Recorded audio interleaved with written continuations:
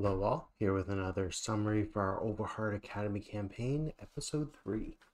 So, the PCs made their way into the basement, an abandoned gun range that hasn't been used in some time.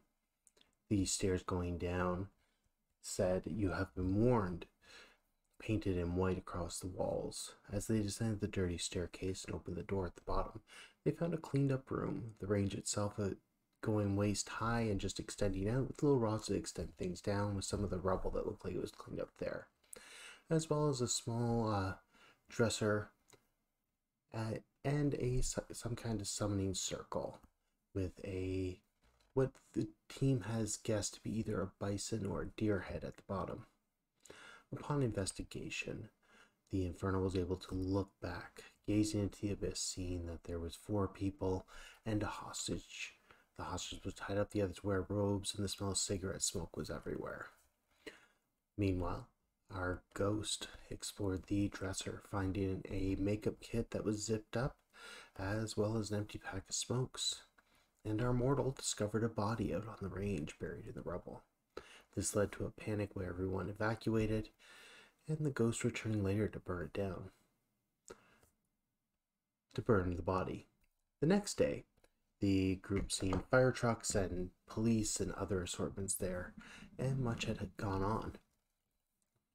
The Infernal went to the principal to give their side of things, seeing Zach there who blamed Liam, as well as Olivia, who seemed to be out and about, trying to get to the bottom of this. Many people were called in, many um, discussions. The ghost decided, determined something was odd, but the detective didn't react to the spookiness of them at all. During this, Liam and Zach got into a tuffle. Um, people were able to piece together later that those two don't get along due to some incident with a car.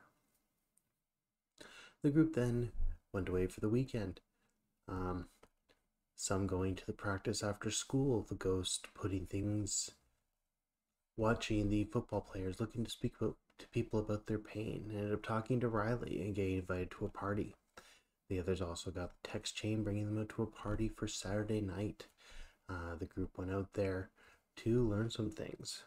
The Infernal did her best to try and find out what happened to that book with Zach while encountering Victoria and her asking about the makeup kit.